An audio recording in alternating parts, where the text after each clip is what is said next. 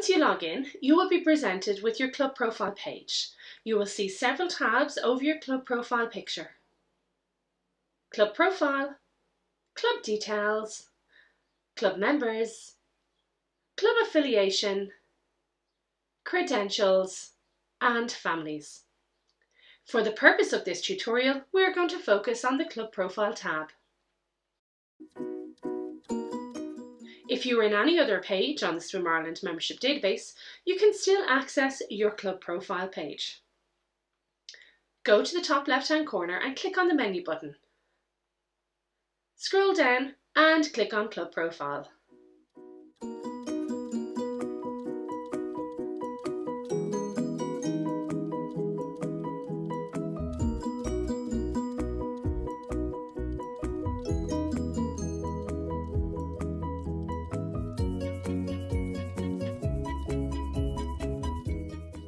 It is important to ensure that your club details are accurate and up to date.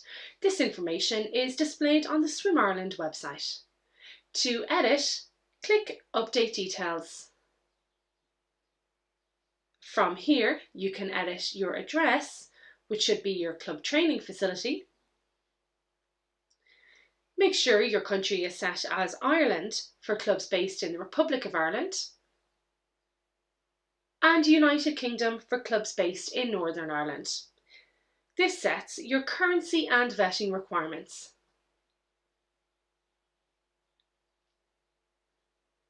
You also want to make sure that your club contact email, phone number and website are correct. Then scroll back up and click Save. To edit or add any social media pages, click on the social media button underneath your club profile picture. Here you can click Update Social, edit or add your Facebook, Twitter and any additional social media pages you may have. Once that's done, click Save.